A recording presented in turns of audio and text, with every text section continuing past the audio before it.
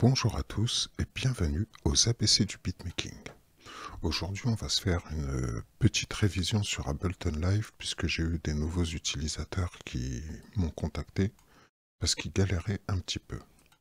Donc je vais refaire une petite présentation du logiciel et on va revoir les différents points à savoir. Donc quand on ouvre Ableton, ça se présente sous cette forme-là.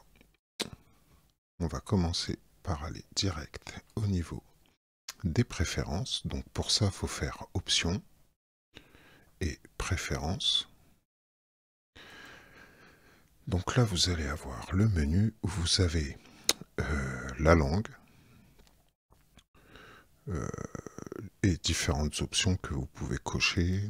La possibilité de changer la couleur de l'interface. Donc après, on peut jouer sur les, sur les différentes options pour choisir la couleur qui ira le mieux.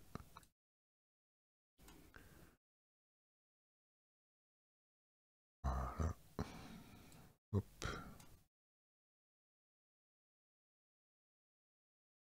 Voilà pour cette page-là.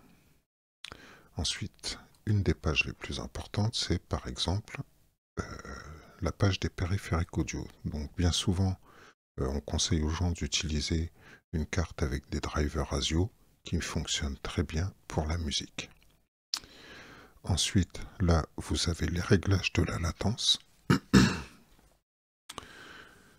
Donc, c'est euh, le temps que le trajet, en fait, en fait, le temps que met le signal à faire le trajet, vous pouvez avoir un décalage entre le moment où vous appuyez sur la touche de votre clavier et le moment où vous entendez le son sortir du logiciel.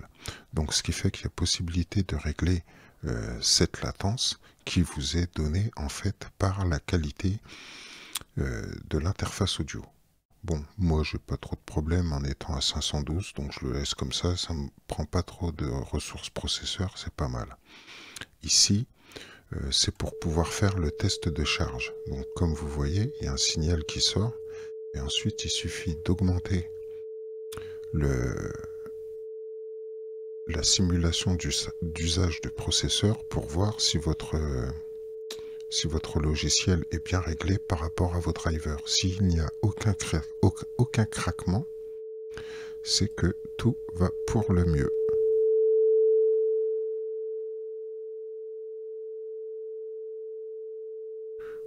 Voilà, pour ça. Ensuite, ici, l'onglet MIDI. Donc là, vous allez mettre vos surfaces de contrôle. Donc, si vous avez euh, une surface de contrôle qui se trouve répertoriée directement dans la liste. Il y a juste à le sélectionner. Hein. Par exemple, moi, ma FW1082, elle fonctionne comme une Mackie Control. Donc, je vais jusqu'à M Mackie Control. Voilà.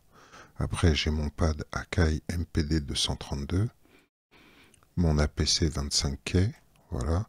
Et puis après, euh, les gens qui ont euh, la PC40, la PC Mini, euh, tout.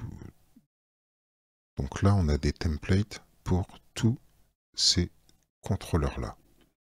Donc vous les mettez bien en entrée et en sortie, hein, pour ceux qui ont des produits Akai qui doivent communiquer. Après, en dessous, vous avez les ports MIDI, donc les ports physiques MIDI qui sortent de l'ordinateur. C'est-à-dire, bon, moi il y en a beaucoup, tout simplement parce que euh, sur ma carte son, j'ai deux ports, le port 1, le port 2. Ensuite, j'ai deux ports virtuels aussi, plus mon euh, système Mackie, euh, plus ma surface de contrôle, mon clavier maître, mon MPD avec ses quatre ports et la PC25K. Donc, comme on peut voir, au niveau des surfaces de contrôle, j'ai tout mis sur On. C'est-à-dire qu'en fait, euh, la possibilité d'apparaître à l'intérieur des pistes, oui, puisque ça fait partie des éléments à choisir pour pouvoir jouer de la musique. Là, par exemple, sur ma surface de contrôle, je ne vais pas jouer avec mes sliders. Donc, ce qui fait qu'en fait, j'ai mis off, ce qui fait que euh, le port Mackie Control n'apparaît pas dans les entrées MIDI à choisir. Clac, clac, clac. Donc mon MPD 232. Donc bien penser en ce qui concerne les surfaces de contrôle Akai à bien mettre sur on pour télécommande et synchronisation. Puisque pour pouvoir utiliser le note repeat et les arpégiateurs, il faut que ça soit sur on. Donc voilà, après, une fois que tout ça c'est bien fait, clac, vous avez tout réglé, vous passez à l'onglet suivant. Donc ici, on va avoir les différents endroits où Ableton enregistre les fichiers. Ça, c'est pour l'application Max for Live. Euh, l'espace minimal, alors cache de décodage, donc ça c'est pour l'utilisation du logiciel. Et ici, c'est l'onglet pour les VST et faire l'examen des VST qu'il y a dans le dossier. Donc vous mettez l'adresse du dossier plugins VST. Ensuite, vous faites l'examen et ça va apparaître dans le browser ici dans l'onglet plugins. Qu'est-ce qu'on a? Là ici, ce sont les librairies que vous avez disponibles avec, votre logiciel quand vous les avez téléchargés, ou encore vous pouvez acheter des packs Ableton que vous pouvez rajouter. Comme moi, j'ai fait un pack qui se trouve en téléchargement sous la vidéo, euh, que vous pourrez intégrer par le browser en faisant ajouter le dossier et il apparaîtra ici. Ensuite, donc là l'onglet Record, donc c'est pour les options des différentes pistes. Le warp et tout ça, moi j'ai pas j'ai pas eu besoin d'y toucher.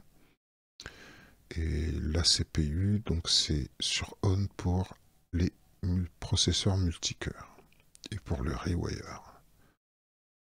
Donc voilà, donc les deux plus importants vont être l'onglet ASIO, l'onglet audio pour régler les drivers ASIO de votre carte son, faire votre test pour voir la consommation du processeur.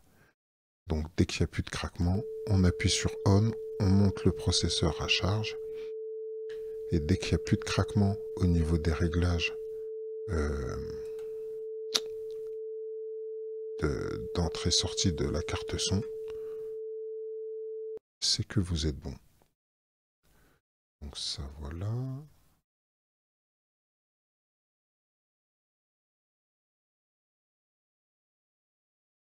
Donc je ressors de là. Ensuite, donc là, on a la première barre de tâches d'Ableton. Donc, quand vous faites travailler Ableton avec un séquenceur extérieur, par exemple, quand je mets ma MPC en maître et que Ableton suit la MPC, en fait, j'appuie sur le bouton extérieur pour synchroniser les deux en MIDI. Là, vous avez le tap tempo pour trouver le tempo d'un morceau. Ici, ça va être euh, votre, votre tempo que vous pouvez augmenter ou réduire directement en cliquant avec la souris et en montant ou en descendant. Euh, l'autre chose intéressante, ça va être le métronome qui se trouve ici. Ensuite, vos options, la, la barre de transport, donc le play, stop, enregistrement, créer un nouveau clip. Ici, pour pouvoir tourner en boucle quand vous travaillez en mode arrangement. Et là les indicateurs MIDI et la charge processeur. Voilà. Ici, c'est ce qui va vous servir à basculer du, du mode arrangeur au mode clip. Alors, ces deux modes, c'est ce qui font la particularité d'Ableton. Après, en autre séquenceur qui fonctionne de la même manière, vous avez Bitwig. Mais bon, moi je préfère Ableton. Bitwig, on va voir plus tard. Je l'ai acheté, je l'ai récupéré, donc on va pouvoir euh, le tester ensemble. Donc quand on prend euh, Ableton, on se retrouve avec une, deux et trois fenêtres principales, plus la petite quatrième qui est la fenêtre d'aide. Donc en fait, la fenêtre d'aide fonctionne, il suffit simplement de se déplacer sur un élément du logiciel et il vous dit à quoi il sert. Mais on va passer ça en revue vite fait. Donc dans le browser, vous avez ici les sons des packs qui vous ont été attribués avec votre logiciel. Donc tout ça, c'est bien du pack Ableton Live. Hein. Là, le rack drum, donc qui se présente un peu avec une interface euh, de MPC. Vous avez vos 12 pads, vos 12 pads vous mettez des samples à l'intérieur et ensuite il n'y a plus qu'à les déclencher. Voilà, comme vous pouvez voir là, hop, directement avec le clavier, ça déclenche les pads. Voilà. Et ensuite, ça va être, en dessous, vous allez avoir tous les éléments acoustiques que vous avez sur votre ordinateur. Là, quand vous passez en instrument, ça va être tout simplement les instruments. Donc pour mettre un instrument sur une piste vide, il suffit de double-cliquer sur l'instrument ou de le prendre et de le glisser dans la fenêtre du bas. Par exemple, si je veux un sampler, je le prends et je le mets. Donc là, il se charge comme ça, ou alors je double-clique dessus et il me met mon sampler. Donc, dans les instruments Ableton Live, vous avez des, des sampleurs, des synthétiseurs. Donc il y a de quoi commencer à peu près. Hein. pour avoir des exemples de sons, par exemple.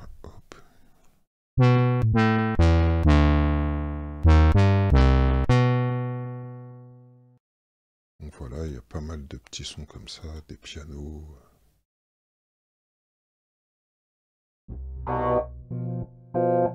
Voilà, c'est un pad. Voilà, les pianos. Et encore non. Ça faudrait aller dans Simpler. Voilà, piano NK.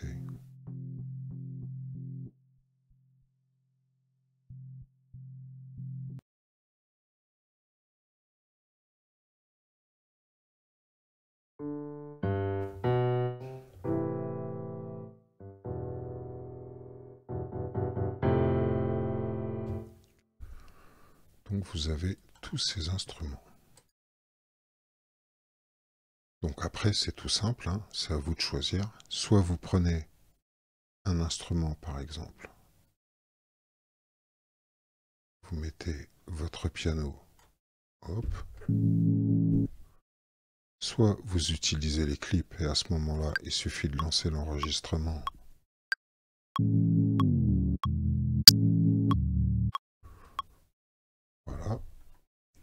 Là, vous avez votre petit clip avec les différentes notes à l'intérieur. Donc il suffit de double-cliquer dessus. Si vous voulez le lancer, vous mettez en lecture.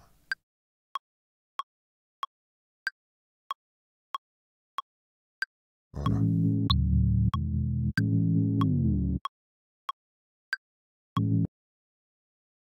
Donc voilà, c'est tout bête. Ici, vous avez les effets audio. Hein, que vous pouvez rajouter derrière vos instruments. Donc il y a un peu de tout. Moi j'ai des amplis basses. Euh, donc là on est vraiment dans tout ce qui est euh, instruments et effets Ableton. Donc là les effets audio. Donc il y a un peu de tout pour pouvoir faire du mastering. Euh, il y a des équaliseurs, des gates, délai, reverb. C'est un multi-effet complet. On a la même chose en MIDI avec les arpégiateurs. Donc il suffit de prendre l'arpégiateur, de double-cliquer dessus, et voilà. Euh, Donc là, vous avez euh, différents euh, presets voilà, d'arpégiateurs, différents presets pour les générateurs d'accords, et ainsi de suite. Donc là, effet MIDI, effet audio. Donc effet MIDI qui vont sur les pistes MIDI, effets audio qui vont sur les pistes audio et derrière les instruments euh, MIDI. Puisque il vous suffit tout simplement, par exemple là, voilà, on a cet instrument là, donc j'en sais rien, on va se mettre un chorus.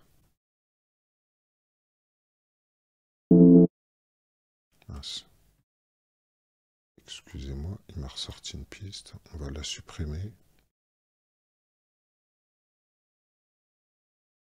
Voilà, donc admettons, je suis sur ma piste, je rajoute un chorus. Si derrière je veux rajouter un délai, allez hop, un ping-pong délai.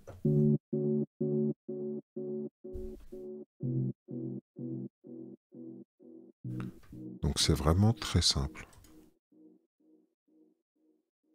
Alors après, vous avez deux façons de travailler. Donc soit en faisant des clips. Donc sur un instrument, vous pouvez empiler plusieurs clips. Une fois que vous avez terminé votre instrument, vous rajoutez une piste. Donc pour ça, vous cliquez droit dans la partie haute et vous faites ajouter soit une piste audio si vous voulez enregistrer de l'audio ou une piste MIDI. Donc là, j'ai remis deuxième piste MIDI. De ce côté-là, quand vous travaillez en mode arrangeur, ce que vous allez faire, vous mettez sur votre locator de, de gauche et vous lancez votre enregistrement. Donc là, j'ai mis mon métronome. Et là, ça va vous faire une bande qui va suivre la timeline. Donc après, vous construisez votre morceau euh, petit à petit tout au long du temps, euh, puisque là c'est un mode linéaire. Alors que au niveau des clips, euh, c'est un mode, je ne sais pas comment on pourra appeler ça, mais vous pouvez créer tous vos clips, les déclencher quand vous voulez. C'est plus pour le live ou pour la composition pour que ça soit plus spontané. Donc voilà. couper. Donc, quand vous êtes sur votre fenêtre, en cliquant droit, vous avez les, des options qui apparaissent. Hein. Pareil sur vos instruments, vous cliquez droit, hop, vous pouvez les enlever, les changer, supprimer. Donc là, il suffit de faire couper et vous retirez l'instrument que vous avez mis. Voilà pour ça, donc on a vu les instruments audio, les instruments MIDI. Max 4 Live, c'est une application qu'on peut rajouter euh, pour compléter Ableton. On verra ça plus tard. Et là, vous avez vos plugins VST. Donc, par exemple, si je veux mettre euh, mon synthétiseur hybride, j'ai juste à double-cliquer dessus. Il va se mettre directement sur une piste MIDI. Et après, j'ai plus qu'à jouer.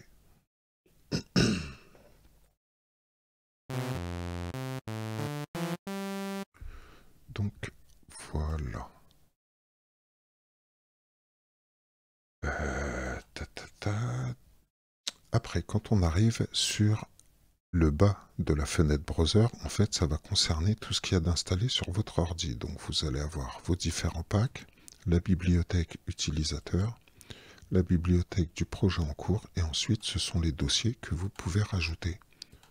Donc, comme moi, j'ai créé euh, un pack de samples qui est téléchargeable sous la vidéo. Vous avez qu'à vous le télécharger dans votre ordinateur, vous faites ajouter le dossier, ça vous ouvre cette fenêtre, vous choisissez le dossier en question et après il apparaît dans la liste comme celui-ci ici. Donc en récupérant ce, pack par exemple, vous allez avoir... J'ai mis ce type d'instrument. Hein. Donc après, après bien sûr, vous pouvez jouer avec les filtres et tout. Hein.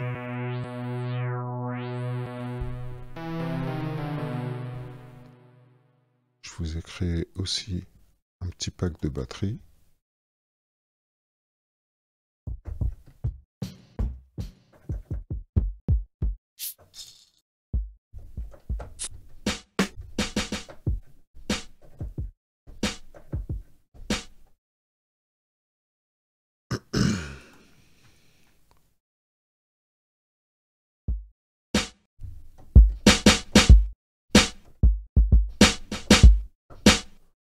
Après, voilà, donc il y a les différents instruments avec leurs samples. Vous avez plus qu'à cliquer dessus et pour pouvoir les utiliser. Donc tous vos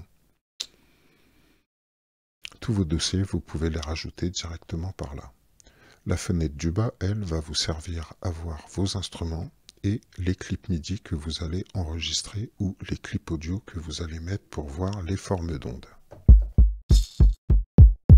en sachant que bien souvent, Euh, par exemple là, vous pouvez agrandir la fenêtre du sampler pour travailler plus précisément sur les différentes options du sampler. Voilà, par exemple si je veux régler mon locator, hop,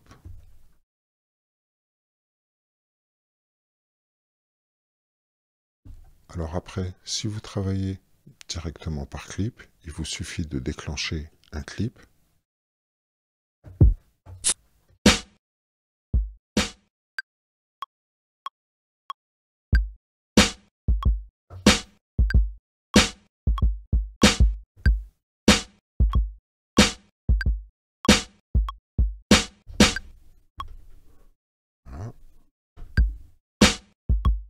Après, quand vous cliquez sur le clip, vous pouvez voir ce qu'il y a à l'intérieur avec les différentes notes. Moi, ce que je fais bien souvent, quand je fais mes pistes de batterie, si je le fais avec le même module, collé,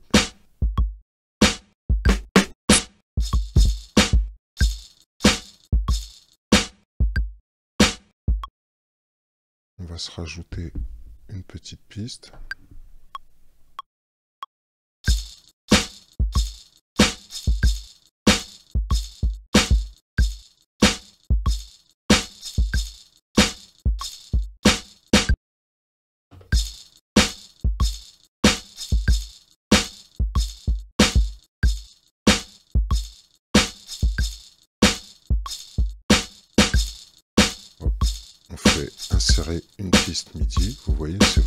Simple. Hein.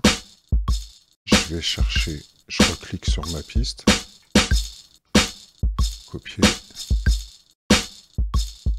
je vais en bas, coller, ça va me remettre mon instrument et je peux continuer.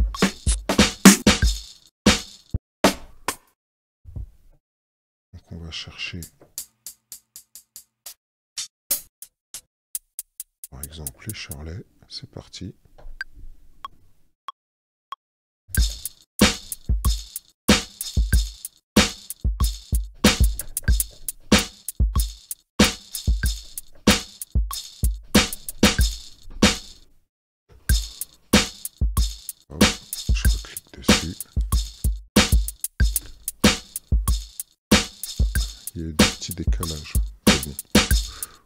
Avez vu le principe en gros.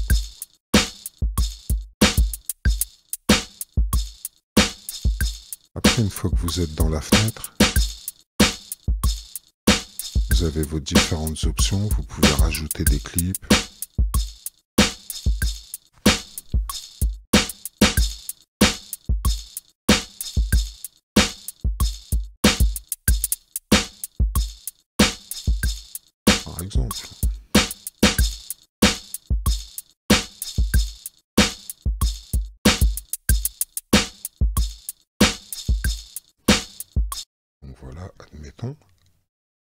J'ai utilisé euh, des instruments Ableton.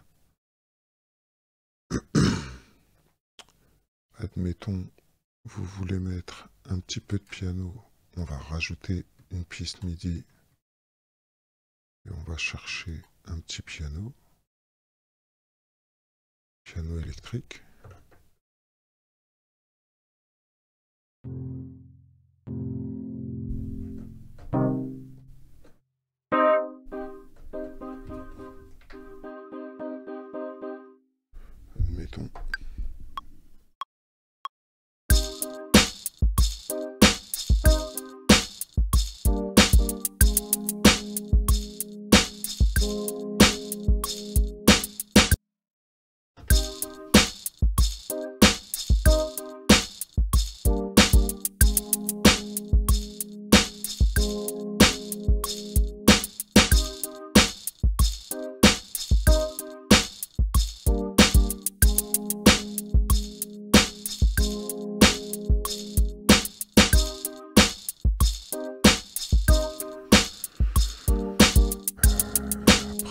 Christmas.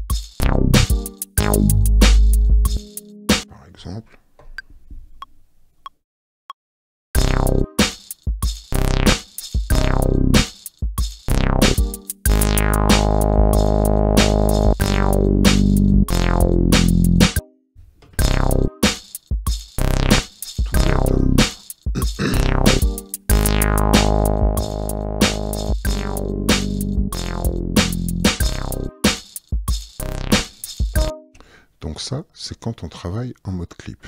Ce qui fait qu'après, on a tout le loisir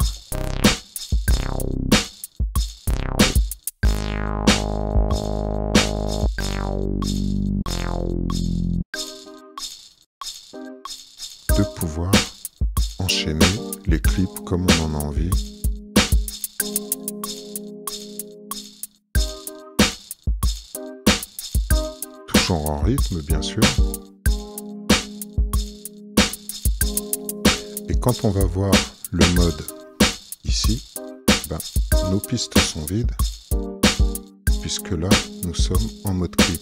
Pour pouvoir enregistrer les différentes variations que vous allez faire avec le mode séquence, il suffit tout simplement.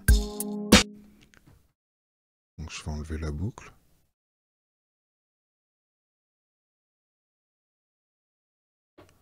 Voilà. Là, je vais lancer l'enregistrement, mais avec le bouton REC.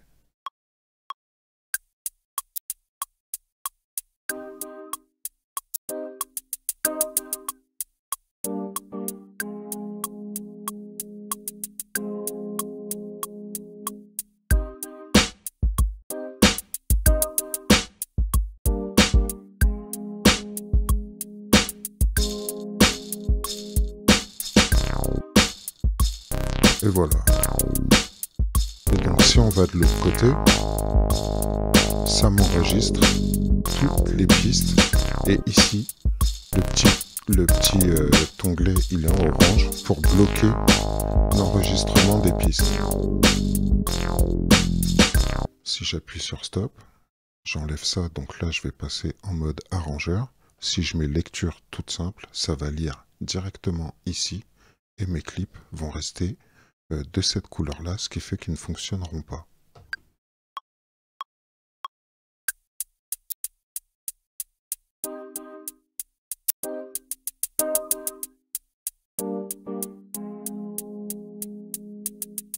Bien entendu, si je me mets sur le clip, je vois ce qui se passe à l'intérieur. Et si je double-clique sur ma piste, euh,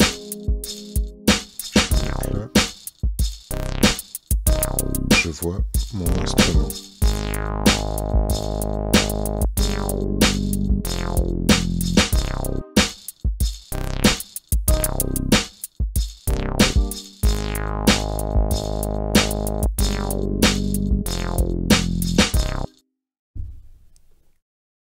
Voilà, voilà pour cette petite démonstration pour commencer sur Ableton Live.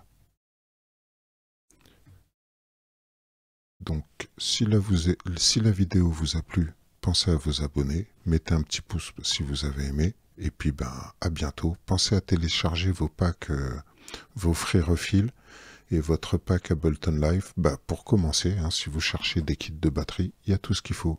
Allez, à bientôt, au revoir.